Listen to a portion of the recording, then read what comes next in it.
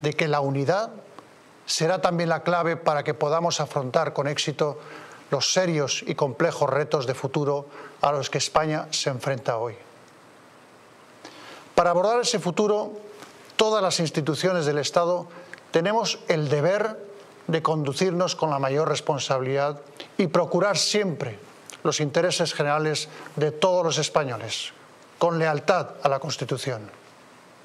Cada institución, comenzando por el Rey, debe situarse en el lugar que constitucionalmente le corresponde, ejercer las funciones que le estén atribuidas y cumplir con las obligaciones y deberes que la Constitución les Buenas noches, España, y bienvenidos un día más al Mundo al Rojo, el programa que cuenta lo que otros callan.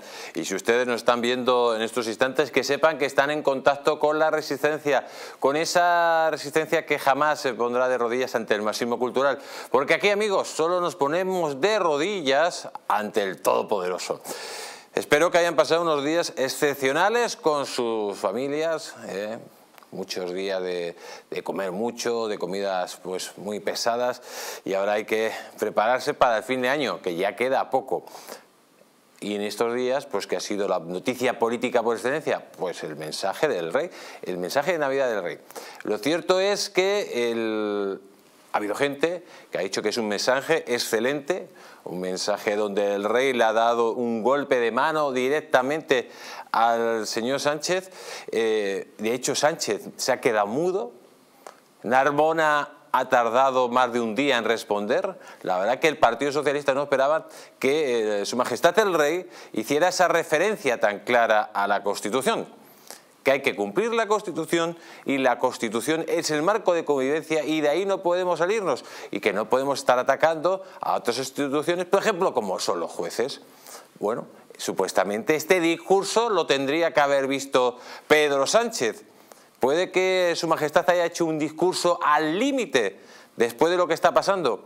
Es verdad que otros critican pues directamente que sí, que está muy bien, directamente, pues respetar la Constitución, pero hay que respetarla a todos y hay que hacerlas cumplirlas. Y cada uno tenemos unas funciones y eh, dentro de la Constitución que se tienen que cumplir. Por ejemplo, una de las funciones que es ser directamente el árbitro entre las instituciones cuando están en pleno conflicto, como es ahora.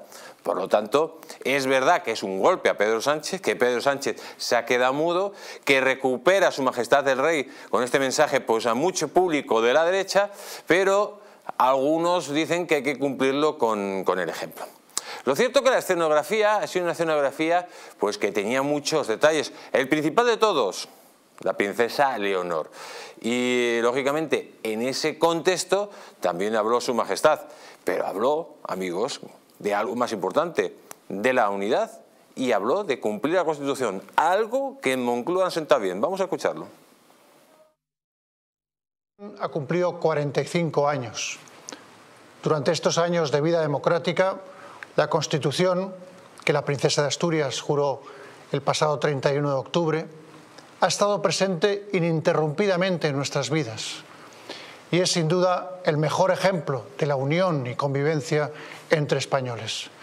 No podemos olvidar que uno de nuestros grandes activos en democracia es precisamente esa convivencia basada en sentimientos compartidos y en la búsqueda común del bienestar y la prosperidad de todos. Pues efectivamente, amigos, esa constitución del año 78, pues lo que hizo es curar las heridas de aquellos que venían de una guerra civil. Aquellos la curaron, pero llegaron luego sacamantecas al estilo Sánchez y compañía y directamente quieren abrirlas y quieren que ese régimen del 78 directamente desaparezca. ¿Para qué? Para que nazca un nuevo régimen donde la monarquía no exista para nada. Yo creo que Su Majestad es consciente. El mensaje pues creo que es un mensaje que es aceptable, eh, que eh, bueno, podía haber dicho más cosas, por supuesto, pero es un mensaje bastante aceptable, que no entra dentro de esos otros discursos que ha hecho, por ejemplo, cuando abrió las, la, legislatura en el, en el, Congreso de Diputados, ¿no? Ha sido, ha ido, ha sido más, más hiriente y sobre todo, todas estas cosas hay que valorarlas, cómo ha sentado a los enemigos de la monarquía este mensaje, cómo ha sentado al Partido Socialista. Pues Sánchez mudo, como el enanito mudito. Narbona, pues bueno, pues sí, que eh, ha respondido muy tarde y mal. Y luego, pues todos los socios de Sánchez la han criticado eh, de una forma rabiosa. Vamos a escucharlo. Tras el discurso de Navidad del rey Felipe VI, los partidos políticos han procedido a valorarlo. La secretaria general del PP, Cuca Gamarra, ha ensalzado el discurso por su sentido de Estado, responsabilidad y compromiso permanente con los españoles. En años anteriores, Felipe VI ha lanzado un mensaje de cercanía en el que señaló los grandes potenciales de nuestro país, pero también los grandes retos y dificultades a las que nos enfrentamos en tiempos de incertidumbre. Mientras la presidenta del PSOE, Cristina Narbona, lo ha valorado muy positivamente. Los socialistas valoramos muy positivamente el discurso navideño del rey. Tenemos un jefe del Estado que demuestra ser muy consciente de las preocupaciones que afectan a muchos ciudadanos en nuestro país. Lo más importante es que garanticemos el buen funcionamiento y la integridad de nuestras instituciones públicas.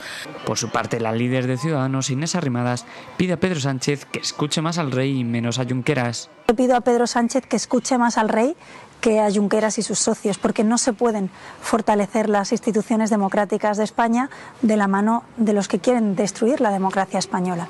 Desde Unidas Podemos, el diputado Rafa Mayoral se muestra sorprendido de que no haya mencionado nada de las actuaciones penales del rey emérito. La verdad es que ha resultado bastante curioso que desde el discurso de la Nochebuena se hablase de la erosión del conjunto de las instituciones y no se hiciese mención a hechos que eh, son importantes relativos precisamente a la, institución que comparecía anoche ante el conjunto de la ciudadanía. Y desde el PNV, Aitor Esteban emplaza a Felipe VI a pedir que se limite la inviolabilidad del rey. Él debería animar a los partidos políticos a que efectivamente esto se mejorara. Bueno, si él se cree aquello que dijo su padre, que evidentemente no se creía, de que la ley es igual para todos, debería impulsar esa reforma. Y le pide que se adapte a los tiempos y acepte la realidad de las naciones. Pues amigos, lo hemos escuchado. La verdad que silencio de Sánchez. El Partido Socialista ha tardado muchísimo. Narbona mm, básicamente mm, decía un discurso repetitivo eh, que no iba a ningún lado. Y luego veíamos, por ejemplo, a Podemos, que hablaran de los casos penales que tiene el emérito. Yo que sepa, el emérito no está condenado por ningún caso penal y no tiene abierto ningún caso penal. No sé por qué tiene que estar de jefe de Estado de eso. Podríamos hablar de los casos que afecta directamente a la financiación irregular de Podemos o cómo Podemos pues, utilizó un perito eh, en el caso de Neurona que era íntimo amigo de Pedro Sánchez, que ahora se va a abrir de nuevo la causa y se tuvo que cerrar Ojo, es que esta gente, pues lógicamente no están a nivel. Pero, ¿qué es la conclusión? Si esta gente ladra, es que el discurso ha sido bueno. ¿Que puede hacer muchísimo más? Seguramente. ¿Que tiene que hacer muchísimo más para mantenerse en la monarquía? Seguramente. Pero amigos, lo cierto es que ahora mismo Sánchez está pasando unas navidades críticas, unas navidades en la UBI directamente. ¿Por qué? y se lo iremos contando a lo largo del programa. Atención, que las negociaciones entre Puigdemont y Sánchez cada día se están enrocando más. Los negociadores y el mediador no avanzan de la palabra referéndum. Y hay que recordar que Puigdemont empieza a cansarse. Si no pasan del referéndum, de que haya un referéndum para Cataluña, Puigdemont puede empezar a cansarse. ¿Por qué, amigos? Porque estamos viendo de que no están llegando a un verdadero acuerdo, de que no avanza lo que había prometido Sánchez y Puigdemont, amigos, tiene línea abierta en estos instantes con el Partido Popular. De hecho, el señor Feijóo lo ha dicho. Y ojo, que este mes, y ahora lo vamos a ver, puede ser decisivo tras la aprobación de ese Real Decreto que puede tumbar al señor Puigdemont. Increíble que lo haya hecho Sánchez. Por lo tanto, hay muchos elementos que nos hablan que este mes de enero puede ser decisivo y lo iremos viendo a lo largo del programa. Un programa que no se lo pueden perder, porque con nosotros van a estar los mejores. Con nosotros va a estar don Roberto Centeno. En el programa de hoy también tendremos a Fernando Martínez Dalmao. Junto a él estará Alex Navajas. También estará nuestra querida Arancha Cabello y al que se une también desde Barcelona Sergi Fidalgo en un programa que no lo pueden, a ver si me enfocan bien, en un programa que ustedes no se lo pueden perder. Vamos a recordarle dónde nos pueden ver. Nos pueden ver en la TDT de Madrid, de Guadalajara, de Galicia. También nos pueden seguir en la TDT de Aragón, de la Comunidad Valenciana, de Murcia. Nos pueden seguir, como no, también en las Canarias y en la TDT de, de Sevilla. Por otro lado, nos pueden seguir a través de las aplicaciones, bajándose la aplicación en el teléfono móvil, en la tablet, también los televisores inteligentes. Si no tiene un televisor inteligente, cómprese un Fight TV Stick compatible con Amazon, Google o Xiaomi. Y para todos los amigos de de Estados Unidos pues nos pueden seguir a través de Roku. En redes sociales, en Facebook, Twitter y YouTube. Y desde aquí un fuerte abrazo para Mary Carmen y todos sus guerreros. Y nos pueden mandar sus mensajes de WhatsApp al teléfono que sale en pantalla al 669-728673. Y vamos a empezar, amigos, vamos a empezar. Porque la legislatura de Sánchez cada día se complica por momentos, amigos. Lo cierto que esto que está pasando Sánchez, esto es como la canción esa del, elefante que se balanceaba sobre la tela de una araña. Cada día se le complica más. Y Junts, amigos, tiene ahora mismo una línea abierta de negociación con el Partido Popular y ahora mismo nadie puede descartar que pueda haber moción de censura. ¿Por qué? Porque el diálogo ha quedado directamente estancado entre Junts y el gobierno. Y es que hay una palabra que es maldita, referéndum. Por un lado, Sánchez quiere darle más autonomía. Sánchez le está dando la, amnistía. Pero Junts quiere que se acuerde ese referéndum. Y no el referéndum consultivo que pretende Sánchez. No, no, un referéndum donde le dé la oportunidad de hacer una declaración unilateral de independencia. Pero ¿qué es lo que le pasa a Sánchez? Sánchez tiene un problema, que enfrente va a tener el Tribunal Supremo. Y por eso está corriendo a toda prisa para controlar el Consejo General del Poder Judicial y el Tribunal Supremo durante 25 años, si controla el Consejo General del Poder Judicial. Para hacer ese referéndum tendría que controlar el Tribunal Constitucional, tendría que controlar el Tribunal Supremo para que no se lo parara y, lógicamente, tendría que tener un poder absoluto que no tiene en el Poder Judicial. Por ello, amigos, esa insistencia rabiosa, ese ataque furibundo al Partido Popular para que se renueve el Consejo General del Poder Judicial de acuerdo como ellos quieren. Pues amigos, a Sánchez eh, se les está agotando el tiempo. Y cada día que pasa con esa amnistía, lo vemos en las encuestas, cómo es una auténtica sangría de votos que está perdiendo el sátrapa de la Moncloa. Una auténtica sangría que está llevando a que tenga que ir a la máxima velocidad el tema de la amnistía. Porque a esto que hemos contado, y esto es lo clave, amigos, atención, por un lado las negociaciones están paradas, están enrocadas en el famoso referéndum. Pero ojo, que ya le adelantamos la semana pasada, que hay un real decreto, ley, que se aprobó el pasado martes, hace una semana, que detalla que los jueces podrán suspender los procedimientos idénticos a la cuestión prejudicial en el Tribunal de Justicia Europeo, que pueda incluso durar hasta dos años. ¿Qué quiere decir esto? Que cuando se haga la cuestión prejudicial al Tribunal de Justicia Europeo, la amnistía se puede alargar, ojo, hasta dos años. Entonces, un señor Puigdemont que está negociando a corto plazo, porque sabe que tiene muy corto plazo para alcanzar todos sus proyectos con Sánchez, se le puede alargar la amnistía dos años. Algunos dicen, bueno, Puigdemont le da lo mismo, vive muy bien, pero claro, esto no lo es pactado, esto no lo es pactado. Atención que Sánchez, al aprobar este Real Decreto por obligación de Europa para recibir dinero de Europa, le acaba de escupir directamente a Puigdemont en la cara. Y mientras tanto, las negociaciones están en punto muerto. ¿Qué es lo que puede pasar, amigos, estos días? ¿Qué es lo que ustedes creen que puede pasar? Puede ser este mes de enero mortal para Sánchez, porque ese Real Decreto entra el día 1, entra en vigor. Ahora, en esas negociaciones, ¿cómo Puigdemont puede empezar a pedir o que se derogue o que no se derogue? ¿Qué va a hacer Junts cuando ese Real Decreto vaya al Parlamento español? ¿Lo va a aprobar?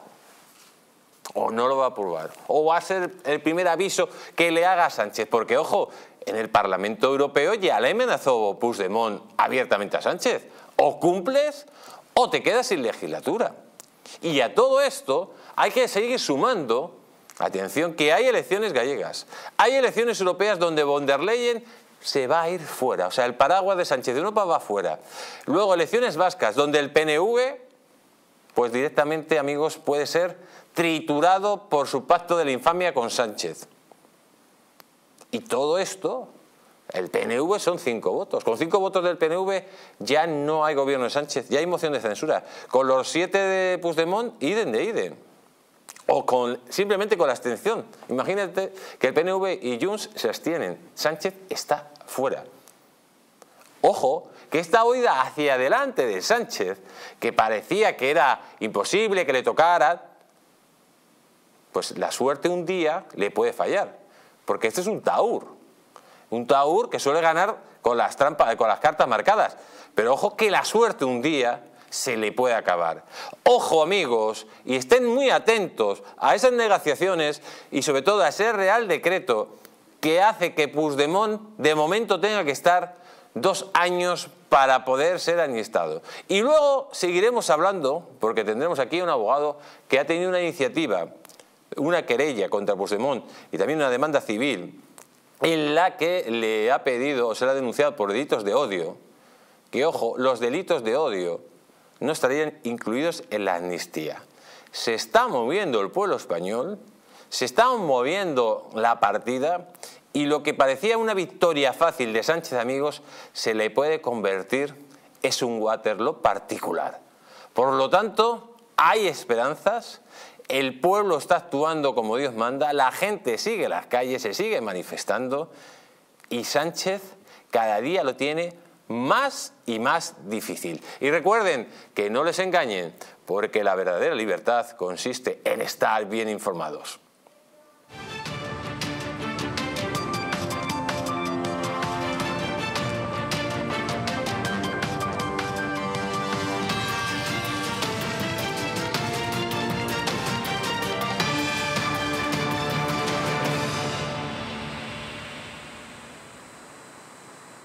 Y amigos, vamos a continuar porque son muchísimas las cosas que tenemos que contarles hoy a todos ustedes.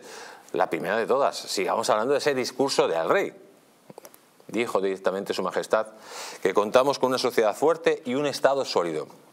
No sé si tenemos una sociedad fuerte, porque la mitad de la sociedad la tenemos podrida ideológicamente, y el Estado sólido, Majestad, pues bueno, a ratos. Escúchenlo.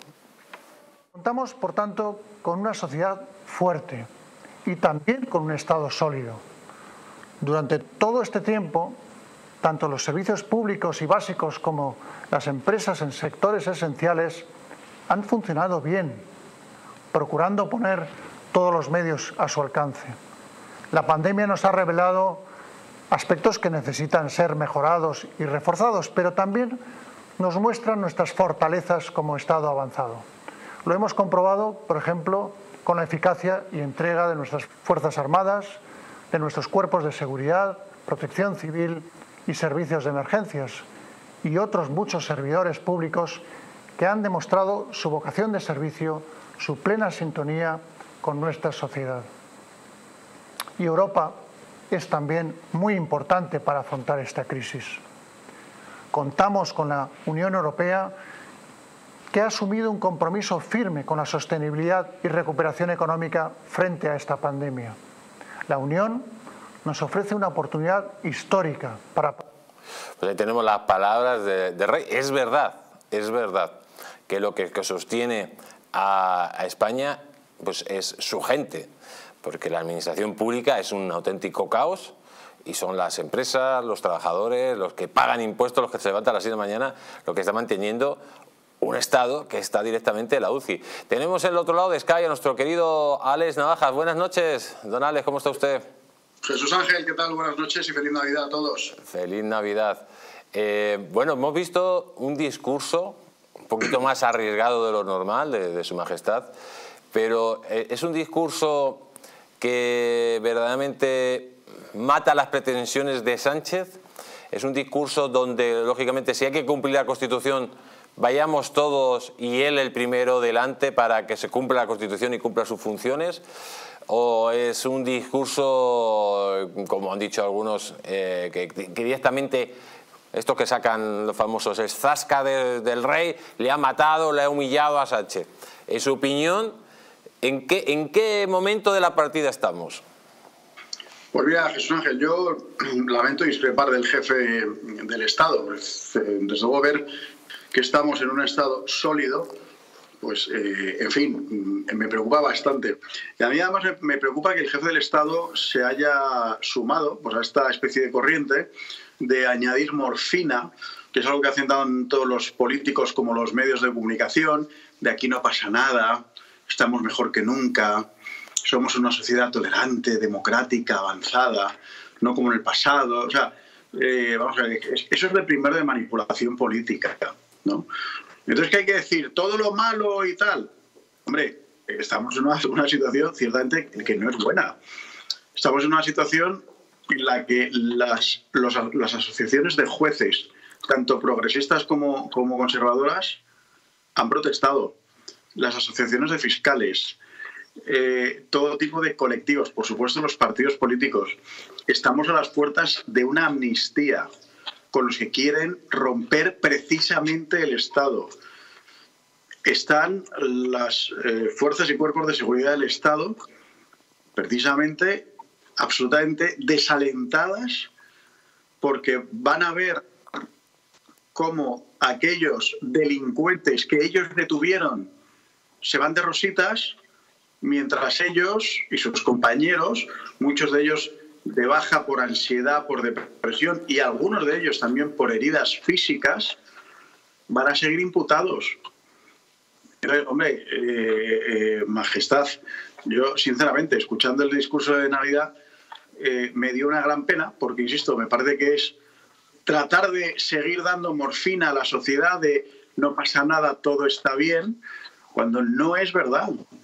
Y luego, aparte de esa especie de confianza absoluta en Europa, que sí, que ya ha dicho Europa que vaya a investigar bien lo del tema de, la ley, de la amnistía, etcétera, etcétera. Eh, yo personalmente tengo muy poca esperanza en Europa. Ojalá me equivoque. A mí, Jesús Ángel, como a ti y a todos los que estáis ahí, lo que me interesa es el bien de España, porque España somos todos. Entonces, a mí no me interesa solamente que a mí me vaya bien o a mí y a mi pequeño grupo, eh, pequeño, grande de amigos y familias. No, yo quiero que España, que a España le vaya bien pero me parece que no estamos yendo por buen camino. Entonces, ¿Y cree usted que, el jefe del Estado mm, si, eh, cumplió o está cumpliendo las prerrogativas que le manda la Constitución en el caso que este, estamos en cuestión, en el caso de la amnistía y en el caso de, llevar a Pedro Sánchez como candidato al Congreso de Diputados? ¿Usted qué piensa? Eh, sí, le tenía que llevar como candidato a, la presidencia del, gobierno, en fin, pues porque con Feijóo no funcionó, pues tuvo que pasar al segundo, al segundo candidato, que era, que era el señor Pedro Sánchez. Pero lo que dices de la salvaguardia de la Constitución mm, es que ya hemos roto muchas barreras. Vamos a eh, hay, un número en la Constitución que es eh, clarísimo, donde habla de la unidad de España. Y es algo que no se puede cuestionar, la unidad de la nación española.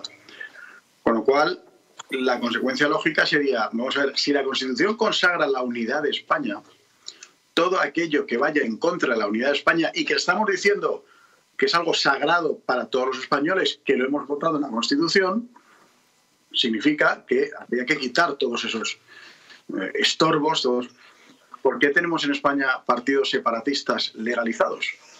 A lo mejor alguno dice, oiga, pero qué barbaridad, pero usted les quiere quitar la libertad de expresión. No, yo quiero hacer lo que se hace, en, por ejemplo, en, nuestros dos países vecinos, en Portugal y en Francia, donde no están permitidos partidos políticos que lleven en su programa electoral que se pueda eh, romper tanto la unidad de Portugal o la de Francia. Yo es lo, mismo que quiero para España. Bueno, me parece que ni Portugal ni Francia son repúblicas bananeras. Estamos hablando de democracias. Entonces, ¿cómo es posible que la Constitución se esté diciendo una cosa, que la, la unidad de España es indisoluble, etcétera, etcétera, y a la vez se esté permitiendo que se atente contra esa unidad? Cambiamos una cosa, cambiamos la otra. Lo que no podemos hacer es mantener las dos, porque es una contradicción. Pues queda perfectamente clara su, opinión. Eh, don Ale Navaja, que tenga usted feliz año 2024 y que tenga mucha salud, amor y dinero. Igualmente, Jesús Ángel, gracias, feliz Navidad a todos y a por el nuevo año. A por el nuevo año. Y amigos, vamos a continuar porque ya ha venido aquí don Fernando Martínez de Armado eh, que viene muy, viene muy, muy enfadada, muy enfadada, porque ni siquiera me ha, saludado, Fernando. Buenas noches, ¿cómo está usted? Buenas noches, bien, bien, estoy bien, sí. Eh, ¿Qué, le pasa a usted? ¿Por qué viene usted tan enfadado hoy?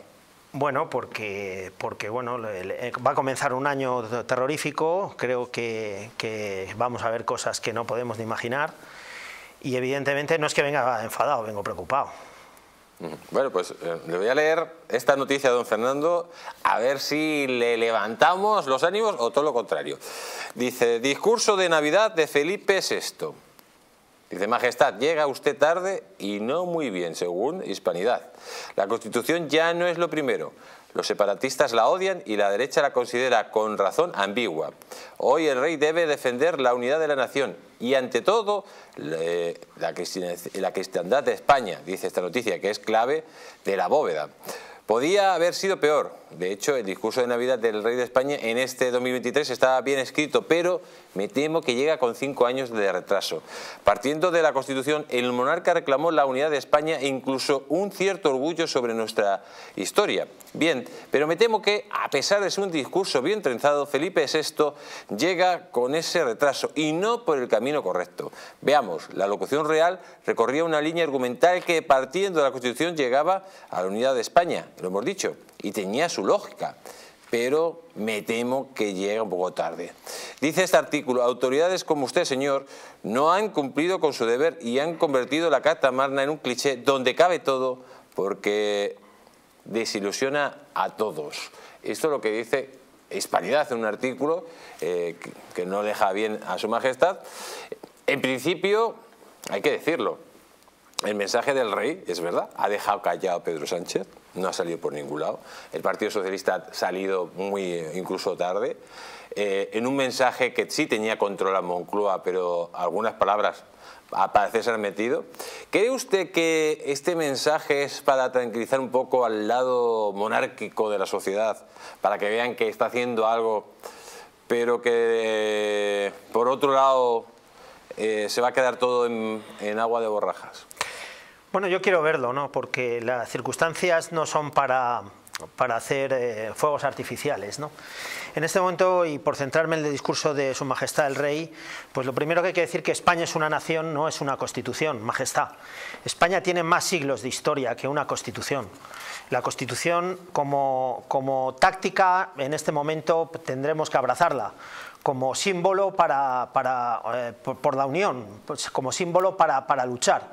Pero la Constitución tiene, tiene tremendos fallos y uno de los fallos es que nuestro artículo segundo habla de la unidad nacional, pero el título octavo lo desarrolla conforme a los conceptos de nación y nacionalidad y de ahí provienen el artículo 143, 144, la vía especial, la vía normal y, la vía super especial, por el cual se aprobaron muchas eh, autonomías que en su caso, en algunos de los casos, pues no fueron ni siquiera aprobadas dentro de los mismos territorios. Pero dicho esto, que ya se sabía, que ya se sabía en el momento que se votó la Constitución y, por lo tanto ya sabíamos que iban a ser los independentistas los que iban a romper la Constitución, los que de alguna manera creemos o no creemos, o pensamos o no pensamos que la Constitución es válida o no es válida, lo que sí tenemos claro es que los que quieren romper la nación en este momento son los independentistas y son todos aquellos que en un momento, abrazando la Constitución, están traicionando la nación. Y repito, la nación es muchísimo más importante. Yo quiero recuperar, es cierto, el, tono y, lo que dijo Su Majestad el Rey. ¿Qué es lo que más le gustó del, mensaje? ¿Qué es lo que más y qué es lo que menos? Me gustó el tono, me gustó el tono de advertencia, me gustó, eh, no era un tono impostado, era un tono eh, enérgico, desde mi punto de vista le faltaba más energía, le faltaba mucha más enjundia, le faltaba empaque y le faltaba quizá eh, dirigirlo más a quien iba. Probablemente no podía hacerlo. Probablemente, y ahí quiero dejarlo. Probablemente no le dejaron hacerlo tampoco. O, vaya usted a saber qué. O vaya usted a saber a, qué. se refiere usted? Lo cierto pues las mismas tensiones que pueden... Que, que, mejor luego no comía el pavo. No, claro, no, es que las mismas tensiones que tenemos en la sociedad también hay en la, zarzuela, ¿no? Pero yo lo quiero dejar ahí. Pero quiero rescatar como, como, como, táctica y no estrategia, porque la estrategia es la defensa de la nación, la estrategia es la defensa de la unidad nacional, la, estrategia es la defensa de los derechos y libertades fundamentales de, de los españoles. Y por supuesto, la unidad legítima de los españoles con su nación. Esa es la estrategia. La táctica puede ser, en este caso, la, Constitución o en, cualquier otro caso podría ser cualquier otro sistema político que interviniera en defensa precisamente de los valores supremos como la nación, la unidad y el individuo. Pero lo, fundamental de que, a mí me gustó del rey es el ataque directo a aquellos que quieren romper España. Eso le gustó. eso me gustó. ¿Qué no le gustó?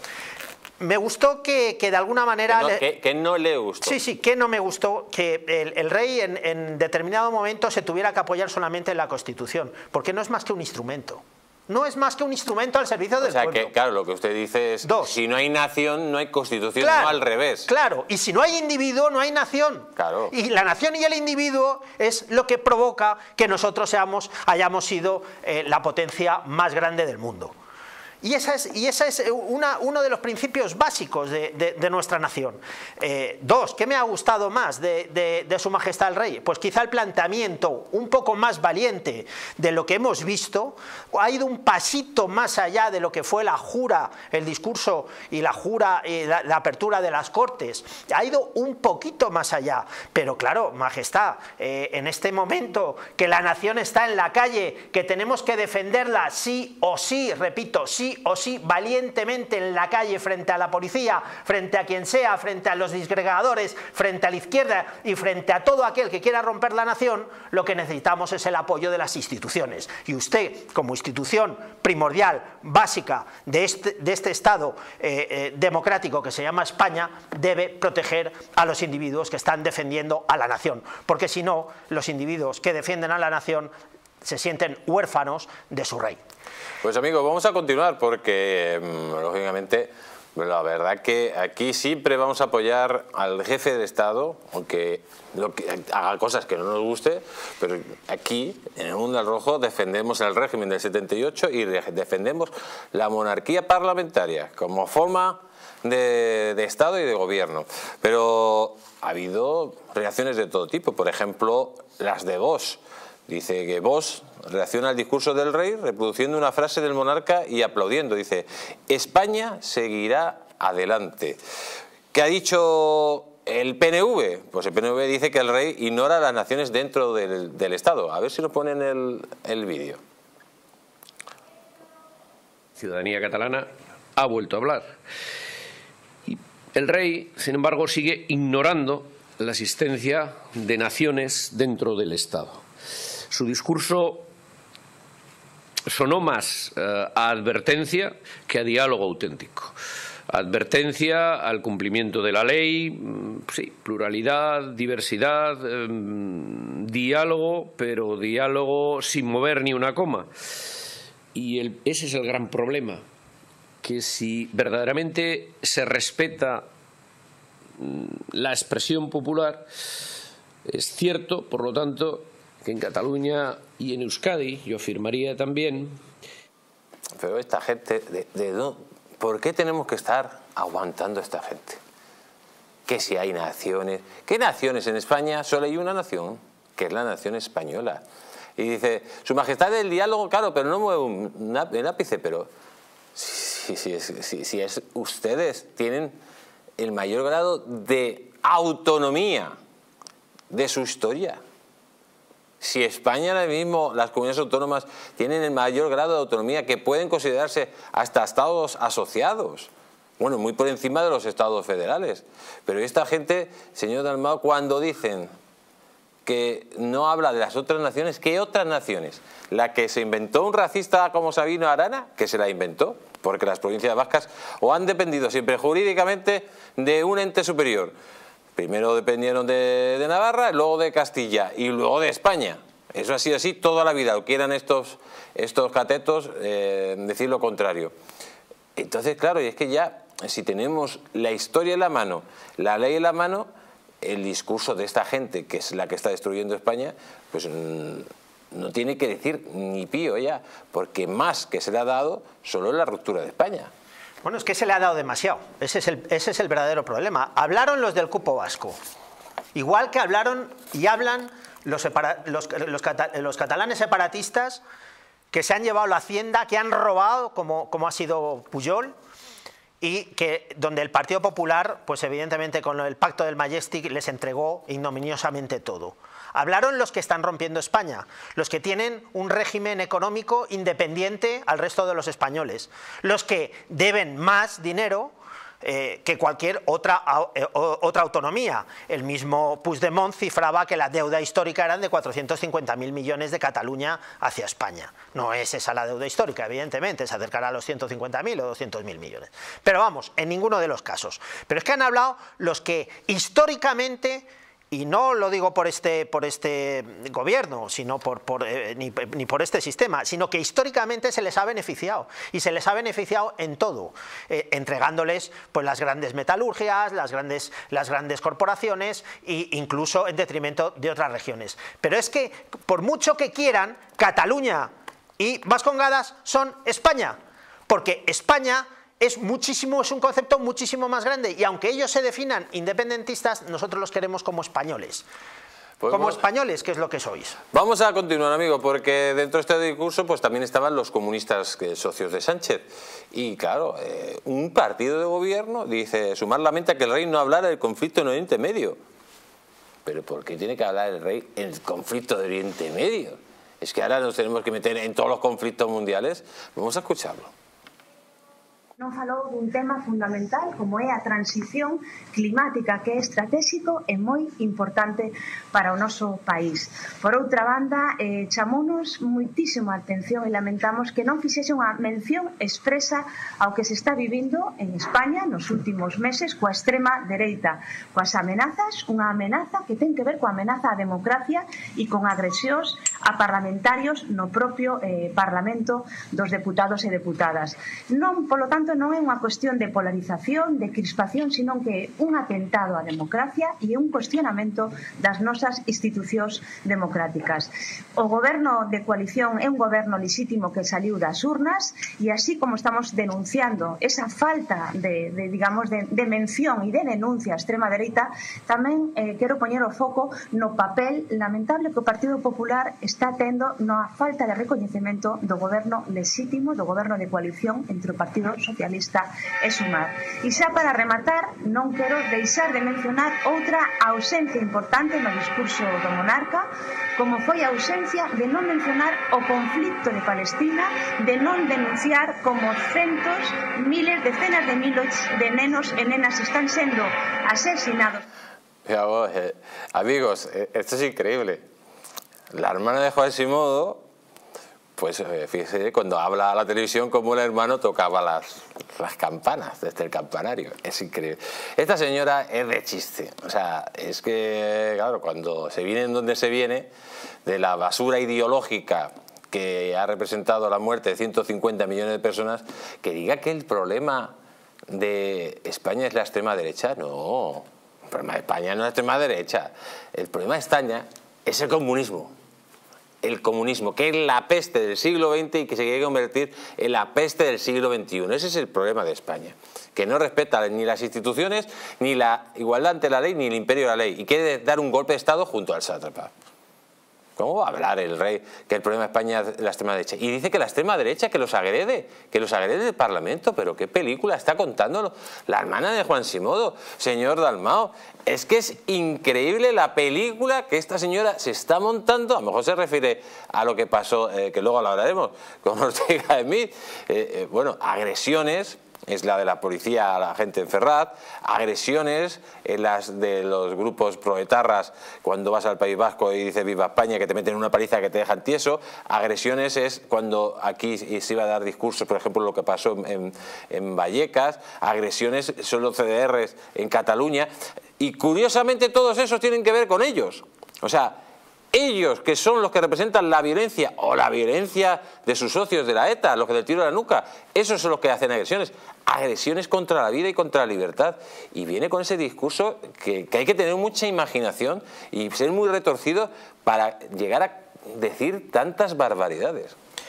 No, además aquí es que habló precisamente los que son, se han declarado herederos de ETA, Grapo, el FRAP o Terra Llure los que eh, son los herederos de la Checa, los que han matado y han asesinado a miles de españoles en, pelotones de, ejecución y en, una guerra civil eh, que provocaron ellos donde dieron eh, tres golpes de Estado. hablan precisamente los que han malversado, los que han robado los seres, los que evidentemente hasta nuestros días, pues con el Tito Berni se lo han llevado crudo hablan precisamente los, eh, los, que pactan con terroristas y con separatistas, porque en el fondo la izquierda es todo lo mismo, es la violencia, es el separatismo y es la destrucción de España. y hablan precisamente todos aquellos que eh, eh, su único afán es eh, destrozar la nación española. Esos son los que están hablando en este momento. Pero es que además nos dicen que tenemos que condenar y ponernos al lado de Hamas, que es lo que ellos hacen, al lado de un grupo terrorista. Porque repito, si antes hablaba de Tagrapo y el FRAP o Terra Llure, es que son los mismos que han defendido al IRA, a las Brigadas Rojas a la, o a la Bader-Meinhof. Y estos son la izquierda. Esto es la verdadera izquierda y nos echan a nosotros en cara de que agredimos y que insultamos. Cuando evidentemente los que han rodeado el Congreso, los que han tirado ladrillos, los que han dejado heridos a policías y los que han pateado a miembros a españoles y a miembros de los cuerpos y fuerzas de seguridad del Estado han sido ellos. Entonces, tiro la nuca. Claro, evidentemente, que han empleado sistemáticamente, han promovido, han empleado y han defendido sistemáticamente el empleo de la violencia como hecho político, como argumento político, repito, como argumento político, cosa que es deleznable en pleno siglo XX y en pleno siglo XXI.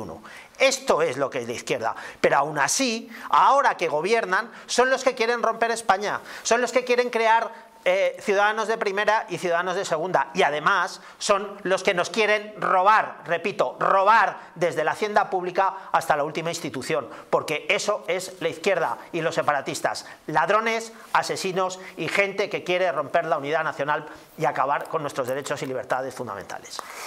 Pues vamos a continuar amigos y le voy a hacer la pregunta del millón. Ustedes ya saben la respuesta, porque la gente que ve el mundo al rojo es gente muy inteligente, muy inteligente. Pero bueno, se lo tengo que hacer, porque mire lo que dice esta noticia. Dice, ¿por qué el contundente discurso de Felipe VI en Nochebuena ha sido el segundo menos visto de la historia?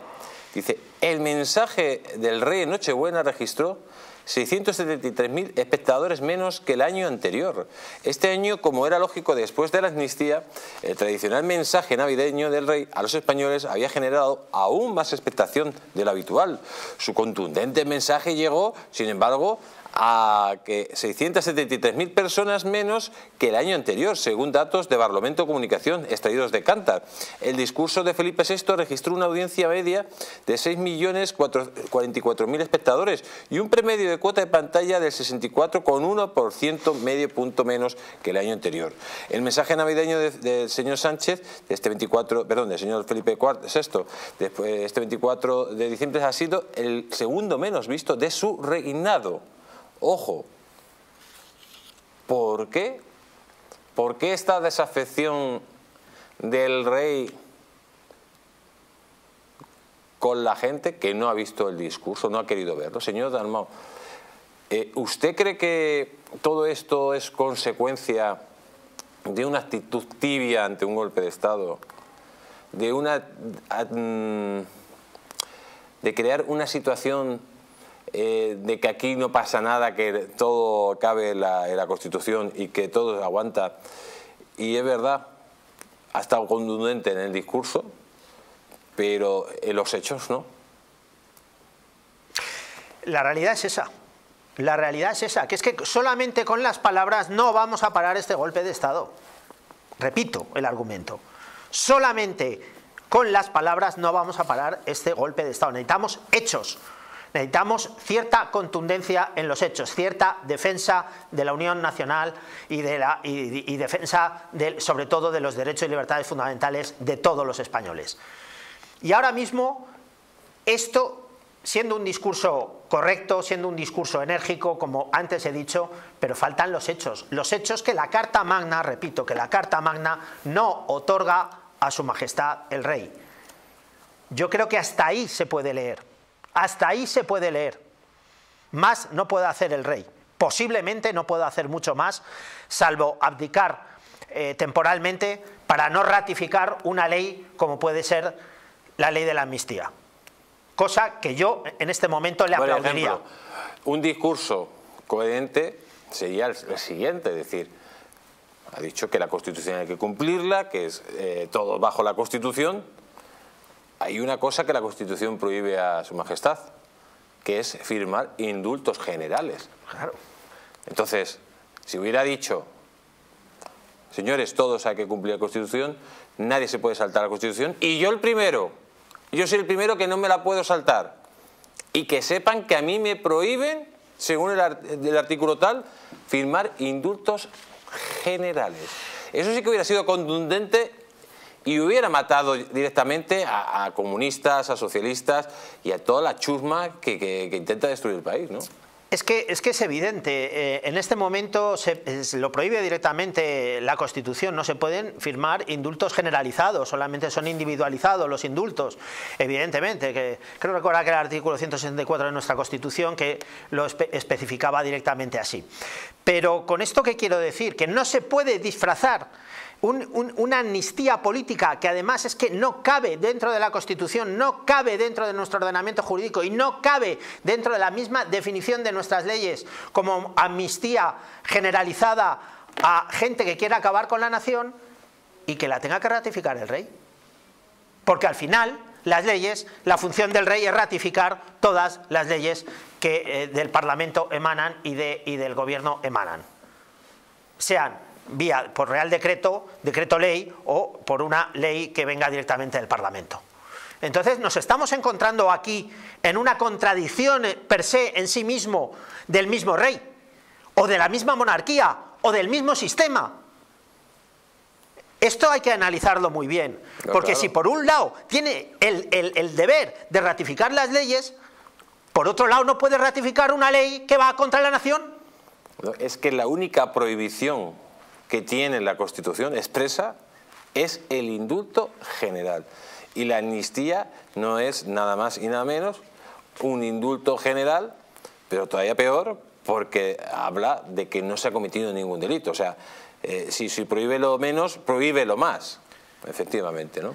Sí, yo me refería antes al artículo 62, perdón, el 164 es otro tema también, pero el artículo 62, que prohíbe taxativamente los indultos generalizados, repito, taxativamente. Mm. Pues ahí queda clarísimo, amigos. Mientras tanto, miren lo que hacen los políticos. Nosotros que no llegamos a final de mes, que tenemos que estar levantándonos a las 6 de la mañana, que van ustedes a hacer la compra y tienen que comprar pues un poquito de pollo, un poquito de pescado, algunos huesos para hacer un caldo, hay que recordar que las colas del hambre ya son 3 millones de personas en España, ¿eh? 3 millones de personas, que el déficit público está fuera de control, que la deuda es impagable. Pero miren esta noticia, dice Partido Popular y PSOE se ponen de acuerdo para subirse un 13% el sueldo.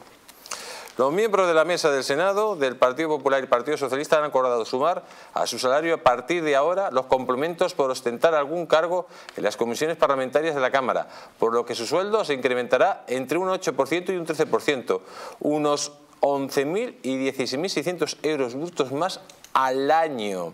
Hasta ahora el complemento por ser integrante de la mesa del Senado era incompatible con el suplemento que recibe los cargos en las comisiones parlamentarias de la Cámara Alta, con la única excepción del presidente de la institución, que podía percibir ambos sueldos. Sin embargo, el vicepresidente primero del Senado, Javier Maroto, propuso en la reunión de la mesa del pasado 5 de diciembre eliminar la incompatibilidad existente entre las percepciones de complementos de ambos cargos y la unanimidad de los miembros de la mesa del Senado estuvieron de acuerdo tal y como consta en un acta de esta reunión consultada por Europa Press. La justificación que dan para eliminar esta incompatibilidad es que el presidente del Senado y los grupos parlamentarios ya podían conjugar anteriormente sus suplementos por este desempeño con los complementos por tener algún cargo en las comisiones de la Cámara Alta. A partir de esta fecha, los integrantes de la mesa del Senado cuatro del Partido Popular y tres del Partido Socialista Obrero Español, sumarán a su salario el complemento por tener un cargo en alguna comisión parlamentaria, incrementando su sueldo, atención, como hemos dicho antes, entre 11.000 y 16.600 euros al año. Tócala otra vez, Mariano. ¿Eh? Estamos aquí en medio de un golpe de Estado, pero hay otros que van a lo suyo. Señor Dalmao. Otros no le importa. Eh, aquí la gente pasando frío en Ferraz, la gente saliendo a la calle, en los medios de comunicación, en algunos, muy pocos, jugándose el, tipo ante un golpe de Estado, pero otros pensando en su sueldecito, eh, me subo esto, me cojo lo otro, y lo pactamos como si no pasara nada, como si estuviéramos en la Arcadia, Fedil. Bueno, es que eh, esto es la clase política que tenemos hoy en día. Eh, antes eh, lo estaba hablando de los seres, del Tito Berni, pero es que todos los, los, casos de corrupción que ha habido dentro, dentro de los partidos políticos también han ido a eso, a robar directamente al, al ciudadano porque, en fin, hemos tenido todas las tramas, tanto de un lado como las del otro. Ahora, ¿qué es lo que quieren? Subirse el sueldo, claro. Eh, cuando el sueldo mm, base de un, parlamentario son 3.000 euros, pero a eso hay que sumarle efectivamente todos los complementos que tienen ellos, pues evidentemente nos encontramos que se pueden llevar cerca de los 8, 9, 10.000 euros al mes. Y esto directamente en esta España que nosotros estamos eh, eh, sufriendo en este momento, con, que hemos pasado el COVID, hemos pasado, digámoslo así, una gran crisis y, estamos metidos en una gran crisis política y económica. Esto directamente ataca al bolsillo de los españoles, porque la clase política o la clase dirigente no tiene ese derecho. Tiene el derecho, como cualquier español, a representar al resto de los españoles, pero eh, con un sueldo, eh, digámoslo, eh, más acorde a las circunstancias que en este momento se rodean. Y en este momento hay muchos españoles que no llegan a final de mes, y hay muchos españoles que no pueden pagar de hipoteca, y hay muchos españoles que, ir al trabajo les cuesta dinero, y hay muchos españoles que no llegan ni siquiera a pagar la educación de sus hijos. Y eso son derechos y libertades fundamentales de los españoles que hay que defender. Pues amigos, vamos a mm, continuar y vamos a continuar recordándole qué les ha pasado a muchos de ustedes este, esta, estas navidades porque al día siguiente, después de la fiesta de Nochebuena, de la comilona, pues han tomado una copa de más y no se podía levantar. ¿Y qué les dije yo? Que tomaran estar de tos. Porque con estar de tos, amigos, se acabaron esas noches largas, largas y esas terribles resacas, amigos. Ahora que llega el día 31 y van a beber todavía un poquito más de lo normal, pues para que el día 1 puedan seguir celebrándolo y estar con la familia, pues tómese estar de tos. Cuando lleguen de la fiesta de fin de año, se toma nuestra de tos y uno se queda como nuevo. ¿Y dónde puedo encontrarlo? Pues en la tienda más cercana de Naturhaus o en www.naturhaus.es o llamando al teléfono 91833 13 y 35. Repito, 91833 13 35. Recuerden, con esta de tos, olvídese de resaca. Nos vamos a publicidad, pero ojo, no se vayan, porque atención, otro puñetazo de Europa que hunde más todavía a Sánchez. Atención, él dice que el Consejo de Europa que examina la amnistía solo ha avalado esas medidas ante el final de una dictadura. Por lo tanto, no caería la amnistía para Europa. Muy importante. Y luego, amigos, también muy importante, porque, atención, los eh, parlamentarios que intenten obligar a jueces a comparecer en comisiones de lawfare, pueden ser acusados de ecuaciones. Lo vamos a ver todo esto después de publicidad. No se vayan, porque si no nadie, nadie se lo va a contar.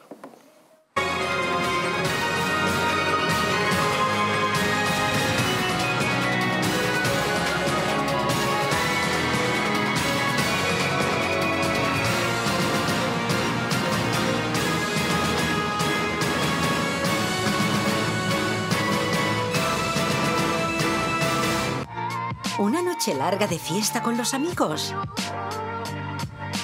Has terminado cansado y con una copa de más.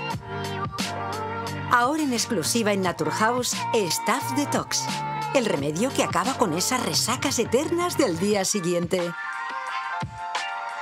Acércate a tu tienda más cercana o visita naturhaus.es.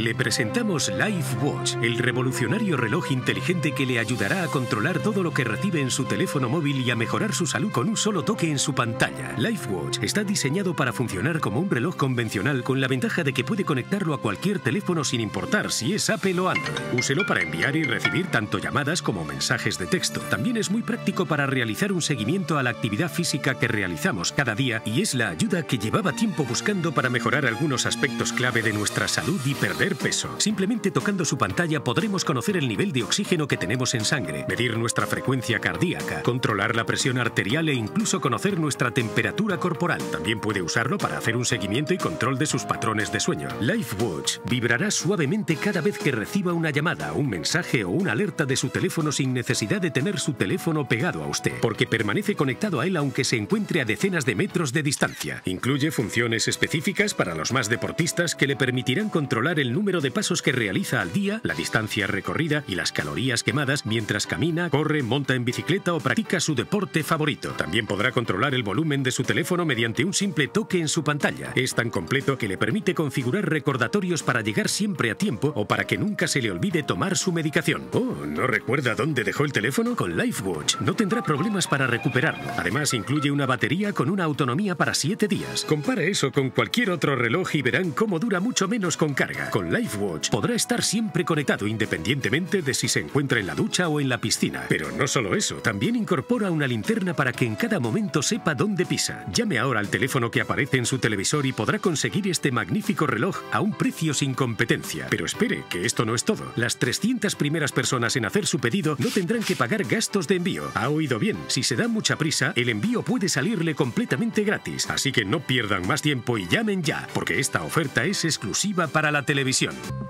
¿Quieres proteger tu sistema inmunitario de la gripe, COVID y otras enfermedades? Inmunad Z es un complemento elaborado con zinc y base de vitaminas C1, B6 y D3 que permiten aumentar las defensas y mejorar las respuestas del sistema inmunitario. Además, posee antioxidantes que reducen el envejecimiento y mejoran el estado de ánimo. Con Inmunad Z, las defensas al poder.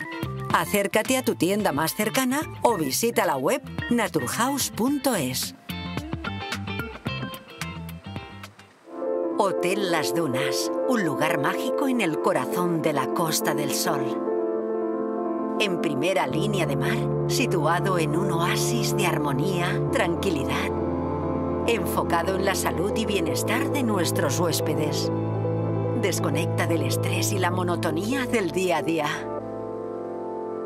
Estancias con programas exclusivos y personalizados de salud, rejuvenecimiento y control del peso. Elegancia y bienestar junto al mar sin renunciar a la actividad y la vida saludable. Descubre las Dunas Hotel Health and Spa, el más exclusivo de toda la Costa del Sol.